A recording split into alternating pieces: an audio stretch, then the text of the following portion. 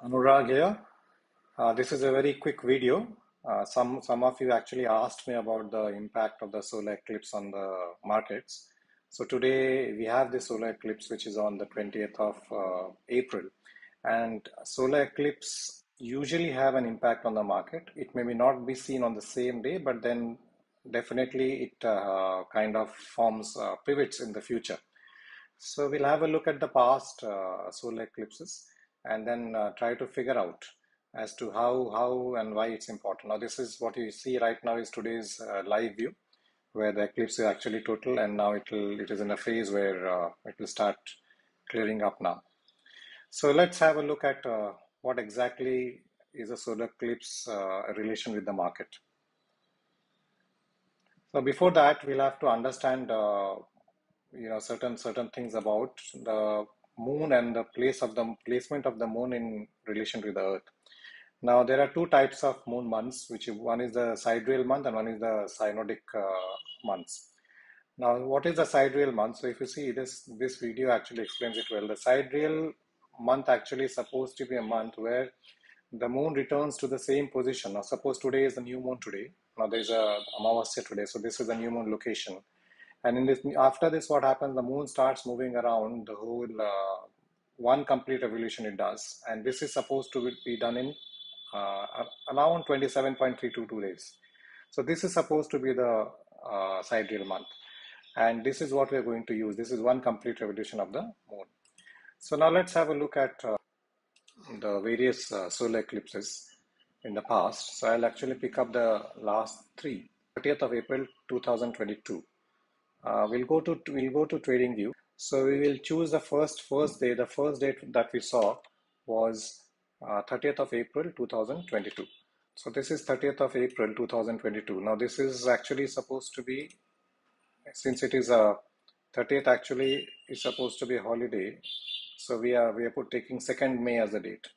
now As soon as I plot this on 2nd May, what happens is that uh, what you see the green lines here, they are the supposed to be the sidereal uh, month. Basically, one complete uh, you know revolution of uh, the moon around the Earth, which is around 27 days. So if you see, based on this particular period, nothing important maybe happened here. But then if you see what happens next, see what what what you what you see here is we actually get a bottom here we again again get a bottom and up move here then we kind of get a top and then there's a correction here we get a top and there's a correction here we get a top there's a correction here we kind of get a you know a bottom here and then there's a move up here and again it kind of stabilizes here and then uh, corrects for two days then again from this particular point it corrects down again from this particular point it goes up and it corrects down again from this particular point it corrects down. It can be one day on and off because we are using 27 days, not 27.33 days. So every three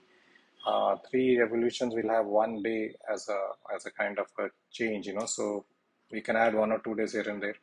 Then you can see this here. Similarly, there was a change here, it came here, and there was a change here, it came here. So this is for this particular day.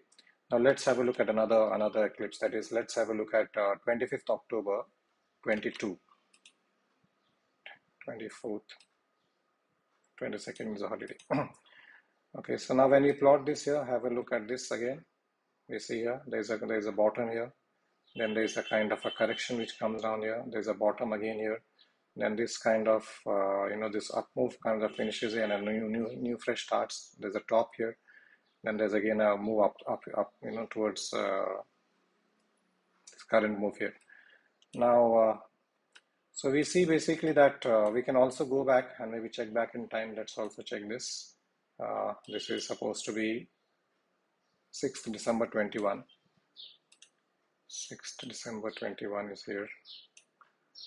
Let's have a look at this. The up move, up, up move kinds of uh, stops here. Again, the fresh move starts. Again, here see the price reacts here, another move starts the price reacts here, another move starts. The price reacts here, another move starts. Usually, the the first impact is usually till the next, you know, next uh, solar eclipse, and of course, uh, there will be lunar eclipses also in between, which also has an impact. So this is how uh, the eclipses help us uh, in defining market pivots. This is supposed to be uh, today's uh, planetary positions. Now, on a particular day, on a particular uh, day of the eclipse, the various, there are various planets which are actually at various points.